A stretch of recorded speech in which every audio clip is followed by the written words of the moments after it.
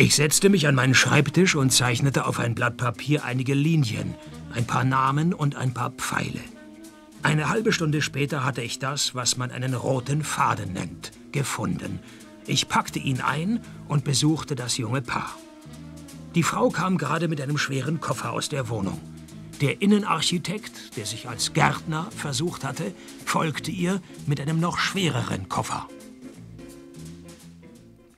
Hm, Sie schon wieder. Sie sind nicht vom Fernsehen, oder? Zum ersten Mal haben Sie richtig geraten. Wer ist das? Kennst du den Typen? Ich bin der blinde Onkel aus Kanada. Was soll das? Scheiße! Was hast du ihm erzählt? Nichts, los, lass uns abhauen. Darf ich mal Ihre Handtasche anschauen? Hübsches Ding. Ble bleiben Sie da, wo Sie sind. Keinen Schritt näher. Ich bin bewaffnet. Haben Sie Ihre Gartenschere dabei? Woher weiß er das alles? Spielt keine Rolle. Unser Flug ist in zwei Stunden. Ich mache ihn fertig. Eine gute Idee. Biete ihm Geld an, biete ihm Geld Sehr an. gut, Sehr gut. Ich biete ein blaues Auge an. Wollen Sie mithalten? Jetzt reicht es. Hände über den Kopf. Lass den Quatsch! Schade. Schade, eigentlich hätte ich noch einen Moment warten sollen.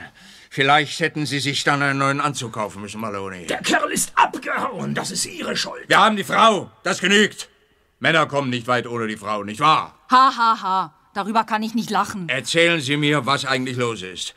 Diese Frau aus dem Fundbüro hat mich herbestellt. Ich habe Sie angerufen und ihr gesagt, dass sie die Polizei verständigen soll. Den Rest wird Ihnen diese Frau hier erzählen. Anja, so heißen Sie doch. Mist. Aha. Ist das alles? Und deswegen bin ich hierher gekommen. Und habe meine Dienstwaffe benutzt. Ja, Felix hat seine Freundin umgebracht. Sie hatten Streit, ich war in ihn verliebt, ich bin es heute noch. Er erzählte mir von dem blinden Onkel in Kanada und dass von ihm Geld zu holen sei.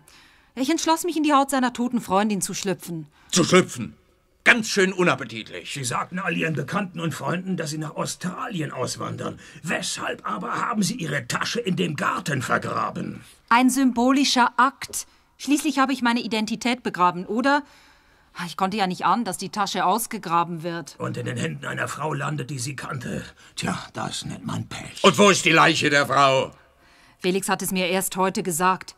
Dieser Idiot hat die Leiche im Keller des alten Hauses begraben. Im Keller? Ich wiederhole mich zwar nicht gerne, aber habe ich Ihnen nicht schon einmal gesagt, dass Sie ein Hornochse sind? Das reicht, Maloney. Das reicht. Der Mörder wurde wenig später ebenfalls gefasst.